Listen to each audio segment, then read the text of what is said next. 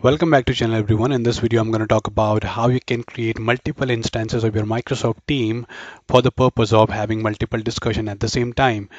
Generally what happens in Microsoft team is when you go to your either chat window, let's suppose I'm want to have a conversation with both the user at the same time I cannot do that. I'll have to switch between here.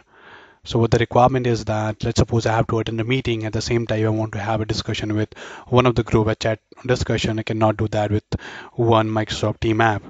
So for that purpose, what we have to do is in all your Chromium based web browser, including your Microsoft Edge, you have to just go you know logged into your Microsoft team with whatever account you want to logged in so I'm logging with a different account right now you can see in my team app I'm logged in with this particular user and in my teams I'm logged in with this particular user. And if I go in my this edge there is an option of apps install this site as an app. Click on this one put the name whatever you want to put. I'll just click on test and install. You'll see that different window open here.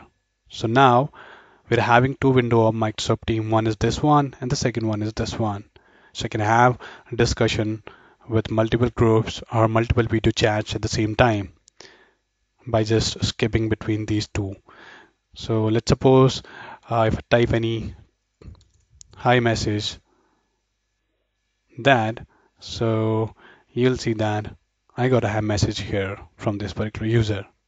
So that's the way you can do it. And if you want to remove this one, you can just simply close a window and can unpin this from your taskbar.